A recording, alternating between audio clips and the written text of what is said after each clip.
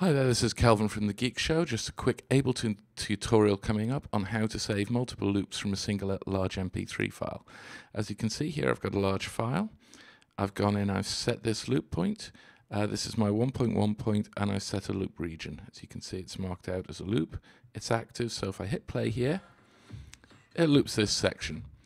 Now, if I go File, Export Audio and Video, or Control Shift R, it'll stop the audio I tell it that it's one bar, I go OK, and I'm going to call this one.wav.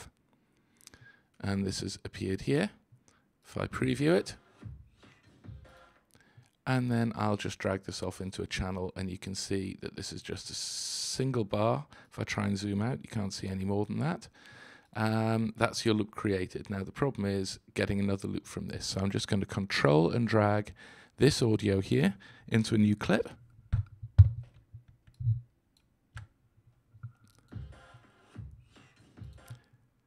And then what I'm going to do is just zoom out slightly so I can find another place where there might be a good loop. And then I'm going to drag this off to the right.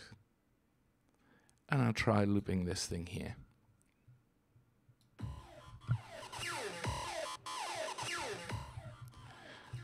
Totally different loop. And all I need to do is export the audio and video and tell it that it's just one bar. Um, click OK, call this 2.wav, and this appears here in my list.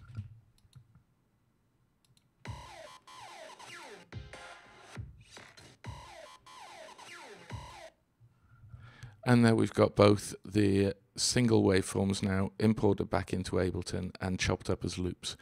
Um, I hope that helps, and goodbye.